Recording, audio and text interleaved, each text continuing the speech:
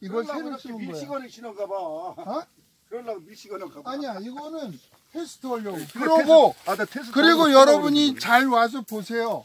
이거는요, 가지를 안 남기고 하나도 없이 몽댕이만 남긴 거예요. 잘 살펴봐. 이거는 지팡이만 남긴 거예요. 그러니까 지- 전정할 때 너무 쉬워. 장님도 하는 거예요.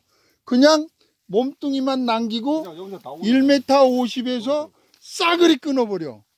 에? 앞으로 이렇게 해서 이 방법을 내가 올해 내년까지만 성공하면 여러분도 같이 하자고. 전지할 때 너무 쉽잖아. 아, 한꺼번에 이렇게 딱 몽둥이만 남기고 다 잘라 버리는 거야. 하나도 남기지 말고. 그러면 이것들에서 지가 가지가 다 나오거든. 그럼 1m 밑에 건 다 끊어버려. 그리고 나머지 그 1m 이게 좀한 40, 50 되니까 요 50cm 사이에서 가지를 4개, 5개만 해까지만 매년 받자 이거야. 아, 예. 해까지만 매년 받자 이거예요. 그러니까 이거 전정하는 거는 정말 30초도 안 걸려. 하나 전정하는데. 예, 예. 그렇죠? 예, 예. 그렇게 하자는 거예요. 그래서 여기는 연구소기 때문에 이 천황대추 연구소에서는 이, 이렇게도 해보고 저렇게도 해보고 이거 보세요. 일자로 그냥 아무것도 안 남기고 잘랐더니 눈이 다 해까지로 일- 해서 일년 내에 다 열잖아.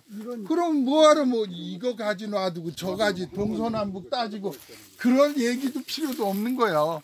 그냥 모두 다 어, 지팡이. 지팡이만 남기고 그냥 지팡이도 아니지 뭐 일자로 전봇대 같이 싹 자른 것의 그냥- 결과가 그냥. 이렇습니다.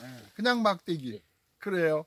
난 이것이 앞으로의 미래의 천황대추 외성 재배법의 한 부분을 잘 커버해 줄 것으로 압니다.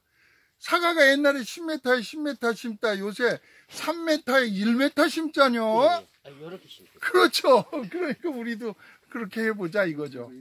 잘 되면 그때 우리 수학하면서 또 즐거운 한판 벌립시다. 수고하셨습니다. 감사합니다.